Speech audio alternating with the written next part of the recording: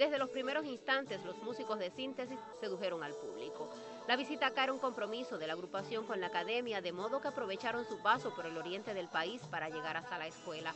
El concierto inició con salutación.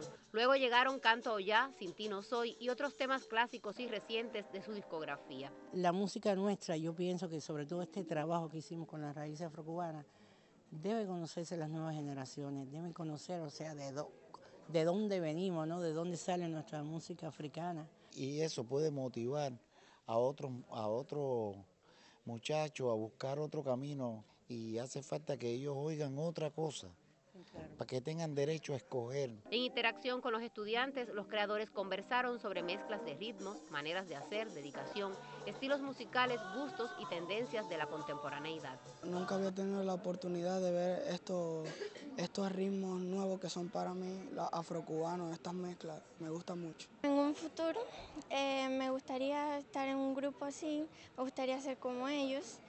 Me, gustaría seguir ese tipo de música. Me gusta mucho esa instrumentación y sí es una música muy bonita. Es muy útil para las nuevas generaciones ya que Síntesis es un grupo de gran trascendencia musical, es lo que llamamos clásico tradicional y que estén con las nuevas generaciones escuchando desde muy pequeño su música, le mucho. La obra musical de Síntesis ha trascendido por más de cuatro décadas le distingue una excelente ejecutoria de variados estilos y corrientes sonoras, fusión de compases contemporáneos con ancestrales ritmos, versatilidad, pasión por el arte y compromiso con las nuevas generaciones y las buenas maneras de hacer.